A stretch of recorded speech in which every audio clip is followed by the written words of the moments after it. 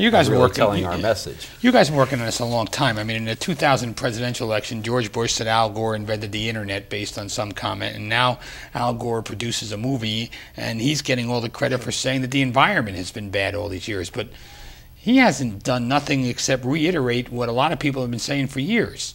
And and do you think that movie has actually helped the awareness, or has the actual beating of the drum of Earth Day help the awareness, or is it a cumulative effect? I, I think it's a cumulative effect. I, I remember back, uh, I used to hear about, uh, what we used to call back in the 70s. It wasn't, was it Earth Day or Ecology Day?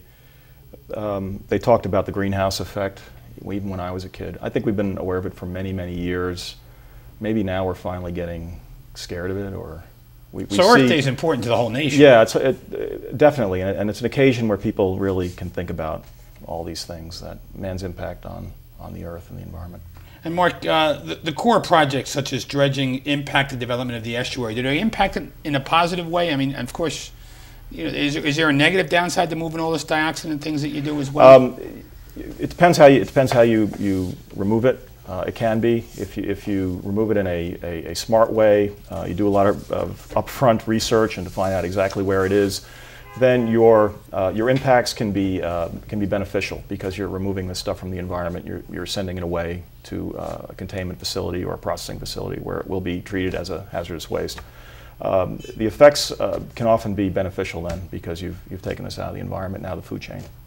and uh, John, in your opinion, local impact, um, Earth Day on local residents. Do do people pay attention? What do we you hope find? they do. Yeah. and we can only uh, gauge who comes to the event and we have a pretty strong connection to the schools. And they're, they're evident the, the evidence in what they're doing makes a difference. And we know that students can take charge and own their environment and, and actually get people to think about it maybe more than the adults might think about it. So there's great promise there with the local residents from the student perspective. And Future City does a lot of work with the community, not just on water quality issues, but with lead and healthy homes and Green Acres initiatives. So there's a pretty, pretty strong message, and certainly the, the real strength is in the multilingual capacity of Future City because people like me going out knocking on a door, I'm wearing a blue suit today and not speaking the native language, and therefore I'm just another scientist You are speaking the native language. You may not be speaking the language spoken in the house, though. of the household. Right. So that, that's really the strength of, of everything we do at Future City is to make sure that we are very conscious of who the actual audience is. So it's, we can always say we're out there for the community, but if we're not really making the effort to reach them in every way possible, our work is going to just be another event and not sustainable. Mark, in, in, a, in, a, in an odd way, the Corps has evolved from a builder of projects such as dams and um, the Elizabeth River that was done here in the 60s to stewards of the waterway. And it's an interesting evolution that's happened in the Army Corps of Engineers. I guess you've seen it happen. Yeah, that, that came uh, again in, in my lifetime since the 60s and the 70s, where, uh, you know, back in the day we just sort of went in and said we're going to build some sort of hard structure, uh, flood control structure, or we're just going to dredge the harbor. Uh, and, and that was fine with people, and, and governments got done what they had to get done. Um, Congress gave us the uh, environmental restoration, ecosystem restoration missions uh, back in the 80s, and uh, it's taken off from there, um, kind of plateaued a little bit. Uh, it's, it's, a, it's a tougher sell in many ways than telling someone you're going to fix their flooding problem, which is a, a, a safety problem. Uh, tougher to get people think, thinking long term about the environment and you know, having us come in and rebuild a wetland. Um, but uh, we, we do have that mission now, and um, we take it seriously, and uh, we're there for uh, those communities that are interested in doing that. They're never going to see you rebuild a wetland, but they'll see you build a dam. They'll see you build a dam. Uh, we, they are seeing us build wetlands um, up the road or down the road in Woodbridge and uh, Medwick. We have a couple of uh, restoration sites uh, uh, in their second year now. You know, they don't look like much when you first build them. Right. They look like a construction site. You're moving dirt around.